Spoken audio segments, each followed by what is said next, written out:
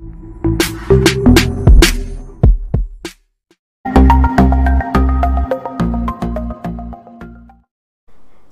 అండి. ఎలా ఉన్నారందరూ? బాగున్నారా? నేనైతే బాగున్నానండి. మీ అందరికీ అమ్మవారి ఆశీస్సులు ఎల్లప్పుడూ ఉండాలని కోరుకుంటూ చాలామంది సొంతిల్లు కట్టుకుందాం అనుకుంటున్నామండి. కానీ సొంతిల్లు కళ అనేది నెరవేరటం లేదు.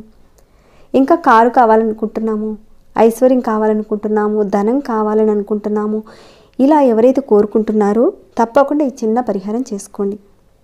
ఈ పరిహారం చేయడం వల్ల ఇంకా ఎలాంటి ఫలితాలు కలుగుతాయనేది కూడా చెప్తాను వీడియోలో. ముందైతే పరిహారానికి కావలసిన వస్తువులు ఏంటో చూద్దాం ఇక్కడ. ఇక్కడ మీరు చూస్తున్నారు కదండి రావి ఆకు అలానే మర్రి ఆకు ఇంకాను మేడి చెట్టు ఆకు ఇంకాను ఆవు పాలు గోమూత్రం ఇవి అవసరం ఉంటాయండి. ఇంకా వైట్ పేపర్ కూడా అవసరం ఉంటుంది. ఇవేనండి ఈ పరిహారానికి కావాల్సిన వస్తువులు. వీటన్నిటిని కూడా మీరు ముందుగానే చక్కగా రెడీ చేసి ఉంచుకోండి. మరి పరిహారం ఎలా చేయాలి? పరిహారం చేయడం వల్ల కలిగే ఫలితాలు ఏంటి ఇవన్నీ కూడా తెలుసుకునే ముందు ఒక చిన్న రిక్వెస్ట్ అండి. ఈ వీడియోకి ఒక చిన్న లైక్ చేయడం మర్చిపోకండి. సబ్స్క్రైబ్ కాకుండా ఎవరైనా ఉంటే మన ఛానల్లో అనేక రకాలైన సమస్యలకు సంబంధించిన పరిహారాలు చాలానే ఉన్నాయి. మీరు ఒకసారి ఛానల్లోకి వెళ్ళండి. వెళ్ళి మీ సమస్యకు సంబంధించిన ఒక పరిహారాన్ని ఎంచుకుని ప్రయత్నం చేయండి మీకు వచ్చిన మార్పుని అలానే ఫలితాన్ని నాతో షేర్ చేసుకోవడం మర్చిపోకండి. ఇంకా మన ఛానల్ సబ్స్క్రైబ్ కండి బెల్ బటన్ ప్రెస్ చేసి అలానే నోటిఫికేషన్ని ఆన్లో పెట్టుకోండి. మీరు పూర్తి నమ్మకంతో వీడియోని ఎండింగ్ వరకు చూడండి. అన్ని విషయాలు తెలుస్తాయి. ఎక్కడ ఏ పాయింట్ని మీరు మిస్ కాకుండా చక్కగా చేసుకోవచ్చు. సరేనండి? ఇక పరిహారం మాటకు వెళతాము. ఇంతకీ పరిహారం చేసుకోవడం వల్ల కలిగే ప్రయోజనాలు ఏంటంటే ముందైతే ఈ పరిహారం మీరు పూర్తి నమ్మకంతో చేయాలి. నమ్మకంతో మీరు చేస్తే మీ యొక్క సొంత ఇంటి కళ నెరవేరుతుంది. అలానే మీకు రావాల్సిన ధనం ఐశ్వర్యం వస్తుంది. ఇంతకుముందు మీరు ఒక ప్రాపర్టీ కొన్నారు. అది సరైన ధర అనేది పలకటం లేదు అలానే వస్తు సామాగ్రి అమ్ముకుంటే అంటే అమ్ముకుందాం అనుకుంటే సరైన రేట్ అనేది మీకు రావటం లేదు ఈ పరిహారం మీరు చేశారనుకోండి ఖచ్చితంగా మంచి రేటుకు వస్తుంది మంచి అవకాశాలు కలుగుతాయి మీకు. అర్థమైందనుకుంటున్నాను. ఈ పరిహారం ఎవరు చేసుకోవాలనేది? ఎందుకంటే ఇక్కడ మనం తీసుకున్న ఈ ఆకుల్లో అంతటి శక్తి ఉంది. మీ యొక్క సొంత ఇంటి కలే కాదండి. మీరు ప్రాపర్టీకి సంబంధించిన రేటు పలికేలా చేస్తుంది. ఇంకా మీకు ఐశ్వర్యం శక్తినిచ్చేలా కలగజేస్తుంది ఈ ఆకులు. ప్రకృతిలోనే ఒక శక్తి ఉంటుంది. ఆ శక్తిని మనం వినియోగించుకుంటే మన యొక్క కోరిక నెరవేరుతుంది. ఇక్కడ మీరు చేయవలసింది ఒక చిన్న యంత్రం చేయవలసి ఉంటుందండి. దానితోనే మీ యొక్క కళ అనేది నెరవేరుతుంది. ఇంతకీ పరిహారాన్ని ఎప్పుడు చేయాలి? ఏంటి? ఇవన్నీ కూడా చూద్దాం. ఈ పరిహారాన్ని మీరు సోమవారం రోజున ఉదయం చేయాలి. ఏ సోమవారం రోజైనా సరే చేసుకోవచ్చు. కానీ మీరు నెలసరి టైంలో ఉన్నప్పుడు మాత్రం చేయకండి. అలానే ఇంట్లో ఎవరైనా చనిపోయి ఉంటే కూడా చేయకండి. ఇక ఈ పరిహారం విషయంలో ఈ చెట్లుకున్న ఆకుల్ని గర్భిణీ స్త్రీలు అయితే కొయ్యకూడదండి. కానీ మిగతా వాళ్ళు ఎవరైనా సరే ఆకులు కోసుకొచ్చి పరిహారాన్ని చేయొచ్చు. గర్భిణీ స్త్రీలు మాత్రం కొయ్యకూడదనమాట ఇక ఈ పరిహారాన్ని సోమవారం రోజున మాత్రమే చేయాలి. ఎన్ని రోజులు చేయాలి? ఏ విధంగా చేయాలి? అన్నీ కూడా చెప్తానండి ఇక్కడ మీరు. ముందైతే మీరు కాస్త పచ్చిపాలు తీసుకోండి. సోమవారం రోజున మీ ఇంట్లో మీ దేవతారాధన ఎక్కడైతే మీరు చేసుకుంటారో అక్కడే చక్కగా కూర్చోండి. కూర్చొని ఈ పేపర్ని అంటే ఈ వైట్ కలర్ పేపర్ తీసుకోండి. పూర్తిగా వైట్ కలర్తో ఉన్న పేపరే తీసుకోవాలి. ఇక్కడ నేను చూపిస్తున్నాను కదండి ఇంత పేపర్ ఇంత అవసరం లేదండి. కాస్త చిన్నపాటి పేపర్ అయినా సరే మీరు తీసుకోవచ్చు. ఇక ఆ రకంగా తీసుకున్న తర్వాత మీరు ఆవు పాలు ఉన్నాయి కదండి. ఆ ఆవు పాలను ఆ పేపర్ మీద కాస్త చిలకరించండి. అలానే మీరు కాస్త గోమూత్రాన్ని కూడా చిలకరించండి.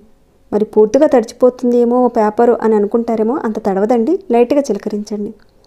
ఈ విధంగా మనం చేయడం వల్ల పేపర్ని మనం శుద్ధి చేసుకుంటున్నాం. ఎందుకంటే యంత్రం వేయాలి కదా. అందుకే శుద్ధి చేస్తున్నాం ఇక్కడ.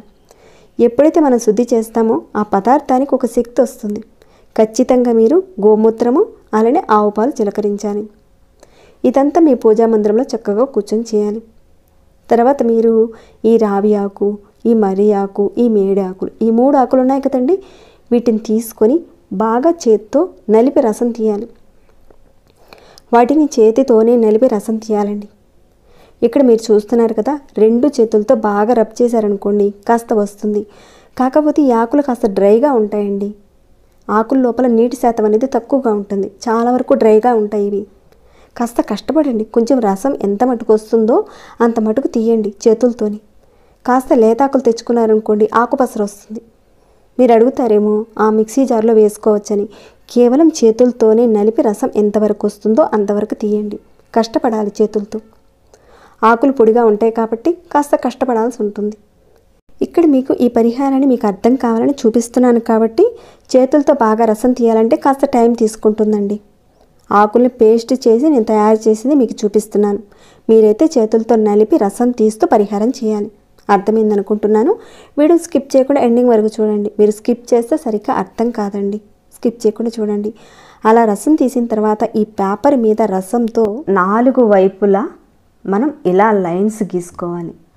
ఈ విధంగా నాలుగు వైపులా కూడా మనం లైన్స్ వేసుకోవాలి. వేసిన తర్వాత నాలుగు గడులు వేయాలి.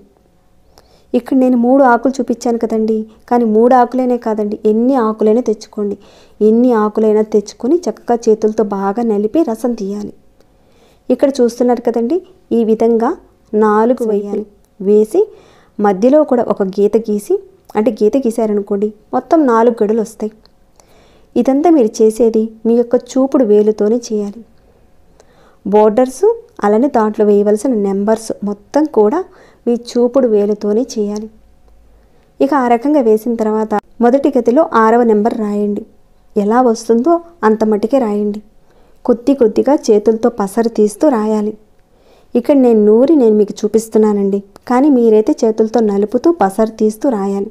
కొంచెం టైం తీసుకుంటుంది. వీడియో కూడా లెంతి అయిపోతుంది కాబట్టి ఇక్కడ నేను మీకు జస్ట్ ఎగ్జాంపుల్గా చూపిస్తున్నాను. ఆ విధంగా మీరు ఆరవ నెంబర్ రాసేశారు. ఇక రెండవ గడిలో. ఒకటవ నెంబర్ రాయండి. ఈ విధంగా ఒకటవ నెంబర్ రాయండి. తర్వాత ఈ ఆరు కింద ఇక్కడ తొమ్మిదవ నెంబర్ రాయండి. ఎలా వస్తుందో అంత మట్టుకే రాయండి. తర్వాత ఈ నాలుగవ గడి ఉంది కదండి అక్కడ ఎనిమిదవ నెంబర్ రాయండి. నేను వేసే లెటర్స్ మీకు సరిగ్గా కనపడకపోవచ్చండి. అందుకే ఇక్కడ నేను చిన్న పేపర్లు వేసి ఇక్కడ పెట్టాను మీరు చూడొచ్చు.